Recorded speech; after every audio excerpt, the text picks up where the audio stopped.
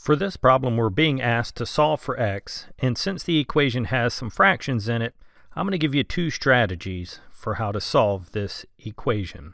For our first strategy, I'm going to take the equation as it is, 16 over 9 equals 4x, and we know we need to get the x by itself.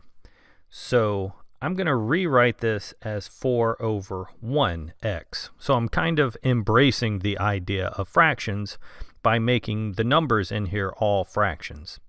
And what that'll then allow me to do is to get rid of a fraction that's a coefficient in front of the x, we can multiply by the reciprocal. So I can multiply by 1 over 4. And then on the right hand side, multiplying by 1 over 4 means on the left-hand side, we multiply by 1 over 4. On the right, the 4's cancel and the 1's cancel, leaving me with just the x. On the left-hand side, I can do some cross-canceling before I multiply. 4 goes into 4 once, 4 goes into 16 four times. So if I multiply the tops now, I can get 4 times 1 is 4. Multiplying the bottoms, 1 times 9 is 9. So we have a solution, 4 over 9. But I said I was going to give you two strategies for this problem. So for that second strategy, I'm starting off with the same setup, 16 over 9 equals 4x. But instead of embracing the idea of those fractions, I'm going to try to just get rid of the fractions from the beginning. So if I have an equation that has fractions, I can multiply both sides of the equation by the lowest common denominator to get rid of the fractions. And since I only have one denominator, I can multiply both sides by that denominator, which is 9. Multiplying both sides by 9. On the left-hand side, the 9's cancel, leaving me with just the 16.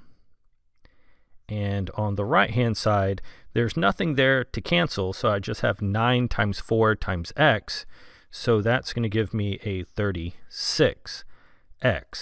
So with this strategy, we actually get rid of the fractions in the first step. And then to finish solving, I do need to get the x by itself.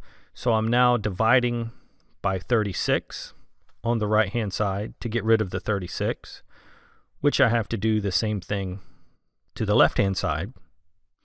And then the 36's will cancel, leaving me with the x by itself. However, the fraction on the left hand side will need to be reduced, and both the 16 and the 36 are divisible by 4. So if I divide the 16 by 4, I get 4, and divide the 36 by 4, I'll get 9.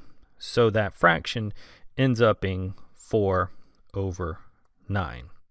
So either one of these strategies yielded the same answer, 4 ninths.